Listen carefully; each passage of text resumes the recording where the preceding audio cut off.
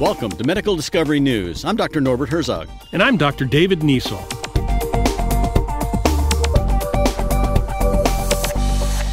It's always fascinating to trace evolution shaped by disease. A recent study traced the sickle cell mutation to one child thousands of years ago that helped her survive malaria and pass along this mutation across the globe. In sickle cell, the red blood cell is misshapen so that it has a difficult time passing through small blood vessels. There are five genetic versions or haplotypes of the sickle cell gene around the world. Scientists wanted to know how they arose and came up with two explanations. One is the multicentric model, which suggests that five independent events in different regions happened that led to the same mutation. The second model believes a single event gave rise to the hemoglobin S mutation, which is responsible for sickle cell disease. And then later changes around that mutation in different populations generated the five different haplotypes. To determine which of these two models is correct, scientists characterized the sickle cell genes in the genomes of 2,500 people from the Thousand Genomes Project, 300 people from the African Genome Variation Project, and 100 from Qatar.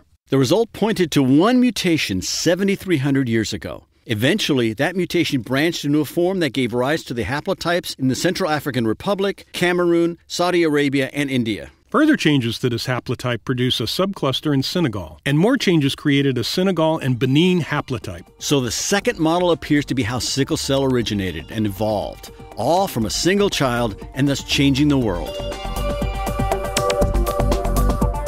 We are doctors David Niesel and Norbert Herzog at the University of Texas Medical Branch and the Frank H. Netter School of Medicine at Quinnipiac University, where biomedical discoveries shape the future of medicine. For much more and our disclaimer, go to medicaldiscoverynews.com.